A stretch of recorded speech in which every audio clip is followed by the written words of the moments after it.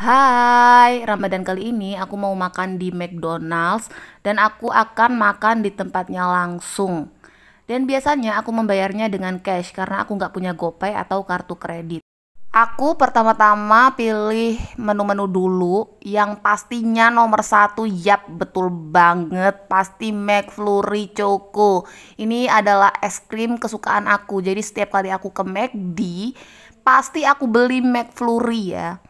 Kemudian jangan lupa pilih menu-menu lainnya yang kalian suka, yang kalian butuhkan, yang kalian mau makan atau kalian mau minum. Lalu jangan lupa bayar. Ini dia penampilan rica-rica chicken rice dari McD. Lihatlah sausnya.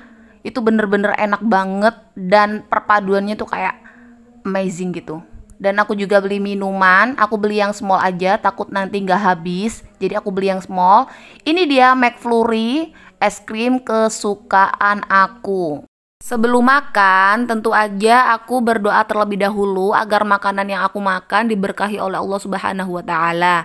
Kemudian aku minum, lalu kemudian tentu aja aku akan menyantap makanan yang telah aku pesan.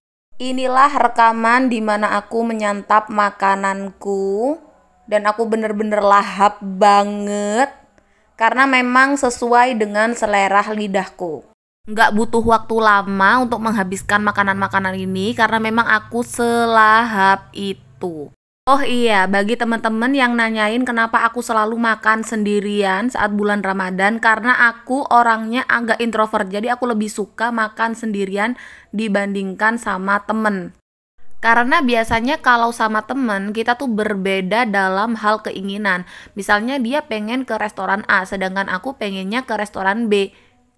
Untuk urusan makanan, lidahku bener-bener pemilih banget.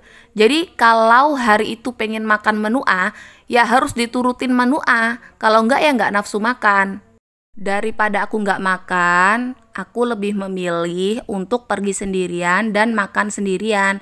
Karena lebih nyaman dan tidak perlu berdebat apa pun.